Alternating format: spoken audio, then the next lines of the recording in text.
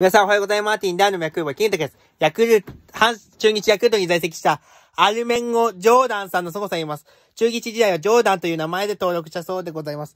これはもう冗談でね、くだらないだけですいませんね。はい。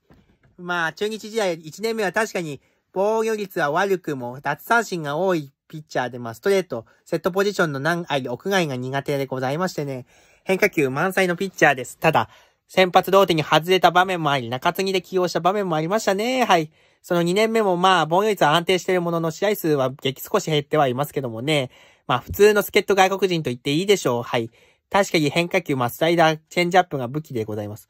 その後、ヤクルトに移籍したんですが、当時外国人のピッチャーが多く、いろいろあってね、はい。カーシーさんなどをいて、残念ながら、えー、喧嘩の影響で2軍に行ってしまいました。その後、帰国してしまったそうです。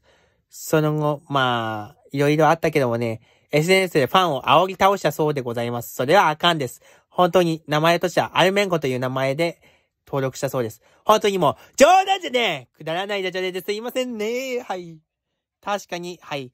ヤクルト時代は何しに来たかって言いたくなりそうですね。はい。ヤクルトは結局出番なく、えー、対談となってウルキデスを代わりに獲得したそうでございます。